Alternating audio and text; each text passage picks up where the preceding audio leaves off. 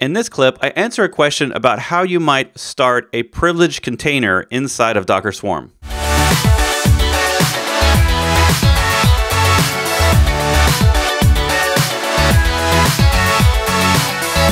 Um, all right, so is there, let's see, is there a way to run a container in privileged mode with Docker Swarm? I'm experiencing uh, th this particular issue while in Swarm mode on CentOS where SE Linux is enabled. Hmm. Alexandra says sidecar uh, using do native Docker. Um, so no, uh, out of the box, uh, if you're really if you're specifically talking about privilege mode. Now, privilege mode basically turns off all security in a container. Um, SE Linux is not always compatible with privilege mode, and I'm not sure if that's what you're referencing here. Uh, I can, I can't actually. Let me see if I can look up the issue.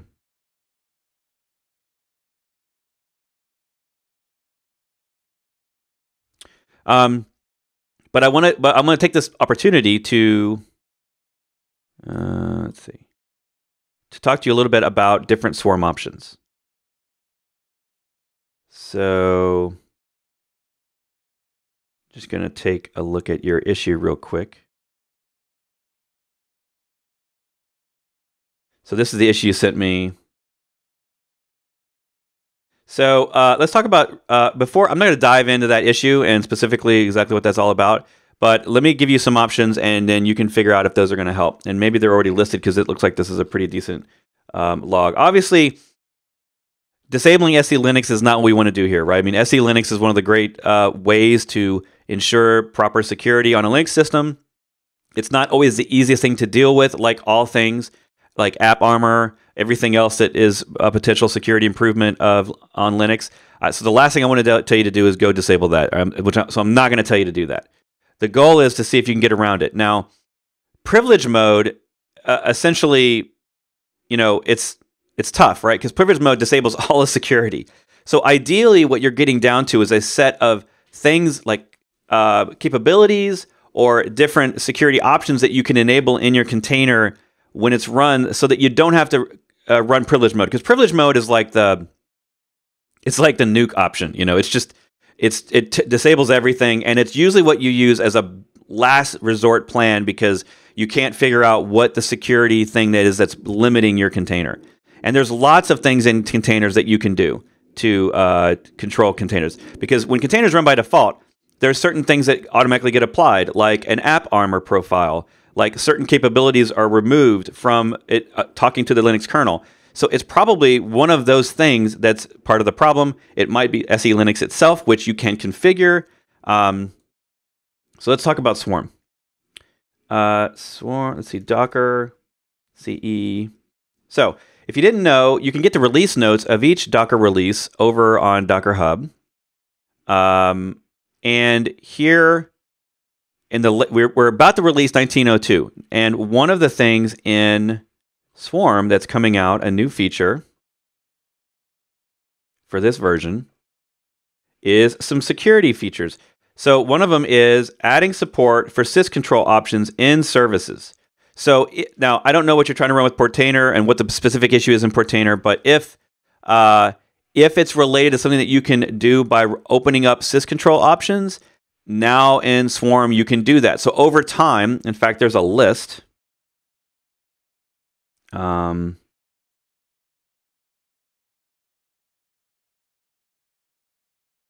I'm gonna post. A, I'm gonna post the releases up while I'm here, and then I'm gonna give you this list.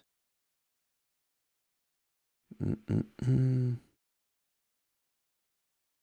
All right, so there's this huge, long-standing, like three plus year old issue on GitHub. Um, yeah.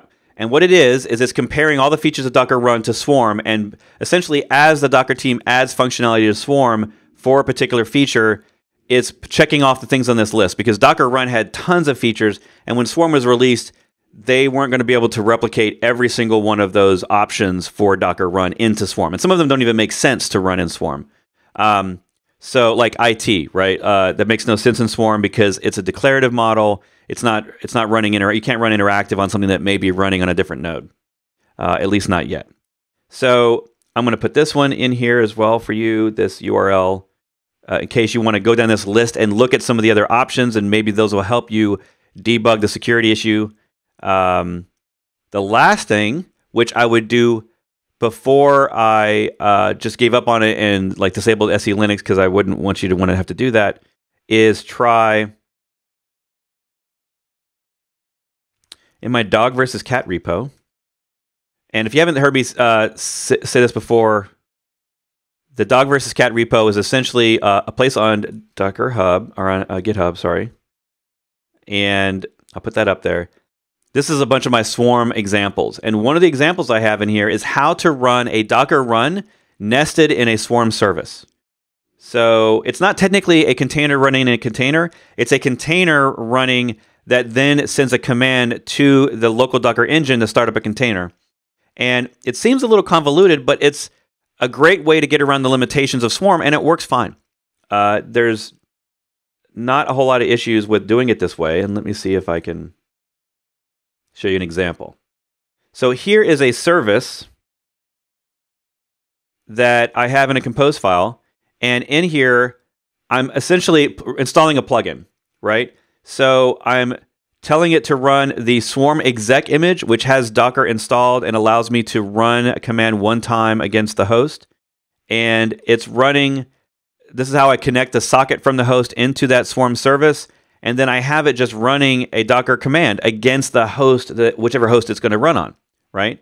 Now, the that is this is so that I can do plugins across the entire swarm. So if you ever needed like a storage driver and you needed to run it on all the nodes across your swarm, or even just a certain set of nodes, you can uh, use deploy options down here to constrain it and actually prevent it from running on all nodes if you want. But I have it running in global mode, which means it'll do this on every single node in the cluster and it will do the Docker plugin install for the particular plugin I need. The other uh, example I have here is for the prune command. So a lot of people ask, hey, how does Swarm can auto clean up images on its own? And it doesn't, but there's a great way to do this yourself. And this is a closer example to maybe what you want to do. And that is I'm running the standard Docker image, which means I'm going to be running a Docker command inside a container in Swarm. And I'm running this on every node. And then uh, I'm connecting the Docker socket, which means it will talk to the engine on the host that it's running on. And then it's going to run a shell command that essentially uh, waits a day, runs Docker image prune, and then waits another day and then runs again. So it's always running, but it's mostly in a wait state inside a sleep a sleep state technically inside of a Docker container. It's doing nothing until it needs to run that command. So in this way, you could change this and your command would be the docker run command dash dash privileged for whatever container you need to run. Now, this uh, this still, as long as you start to, to behave a little uh, differently, where you make sure that your container properly shuts down when it's supposed to, this will work. And it doesn't. It's not a horrible solution. It's I think it's a better solution than disabling SE Linux because it doesn't lower your security. But honestly, at the end of the day, I would try to get rid of the dash dash privilege. I would try to see what it is about this container that it needs on the host. And uh, I would go looking for that option in Docker run because the privilege mode really just turns everything off. So I'm always trying to figure out how to not use that. But great question. Thanks for watching. Click the subscribe and the notification bell down there will let you know when I go live every week to take your questions on Docker and DevOps. You can watch these videos over here, or you can just go watch those cat videos you've been meaning to watch.